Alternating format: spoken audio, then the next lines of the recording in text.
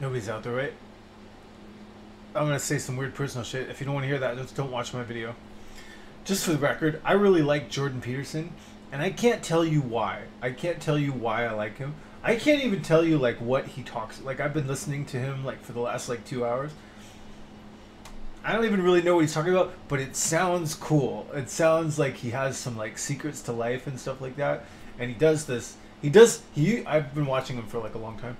I always play him like all the nobody's listening, right? Just for the record, I always listen to podcasts, and the podcasts I listen to, they're all by men whose names start with J. Joe Rogan, Jocko Willink, Jordan Peterson, Joel Osteen. There's something about a man with a J name that sounds like a good leader or something. Anyway, uh, that could be wrong. Anyway, he just he sounds really cool and he's really eloquent. He's just an interesting character and he's just kind of fun to listen to, and uh, his brain definitely works really good and he seems like passionate. And I can't, I honestly, I can't put my finger on what is interesting about him. And he says so much shit. I can't even really tell you what what he's about. He just sounds like he's he's kind of like no, I'm not gonna do that. Like I'm not gonna. You can't bend me. Like I'm not gonna uh, conform to your gender thing. He's kind of like antagonistic. There's something kind of macho about him, but there's something like he wants to to be like a good guy. But there's also some sort of like he he's kind of playing games with people too, and so all of this is like it's it's very appealing, and I'm not really sure why. And so, and I think he kind of knows why. Like I think I bet you he seems a little bit manipulative. No, I don't want to. Nobody's watching this, right?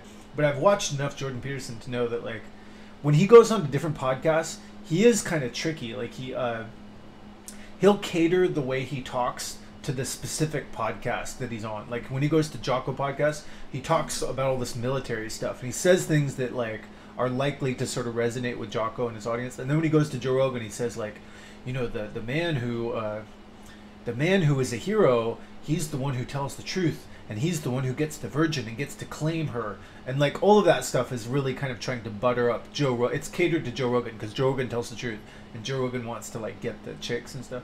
Well, I just I know I've listened to some of these podcasts that like I know that that's one thing Jordan Peterson does is he likes to.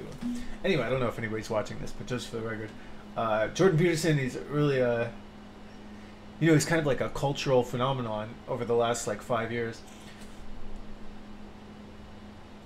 and I can't even really tell you like what I don't even know what he's about. I don't know why people like him. I don't know why some people don't like him.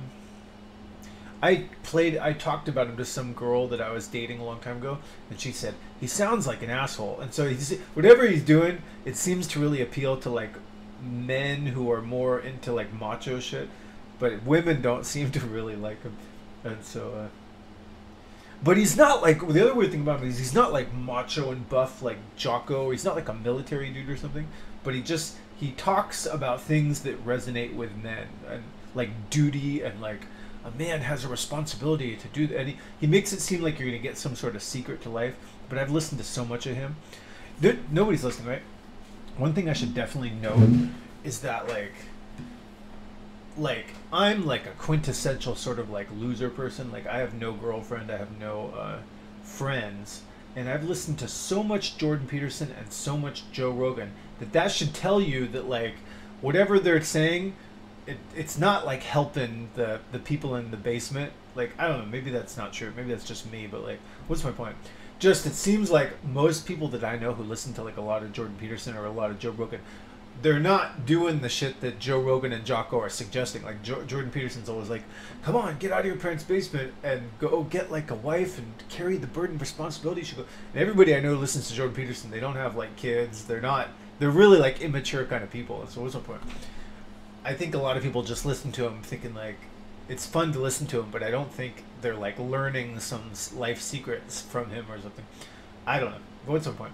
also I don't really agree with a lot of what he says, but I honestly I don't even know what the fuck he's talking about. A lot of the time I'm just like, sounds cool. It just I don't even I was listening to this for an hour. I can't even tell you what he was talking about, but sounds like it sounds like cool stuff.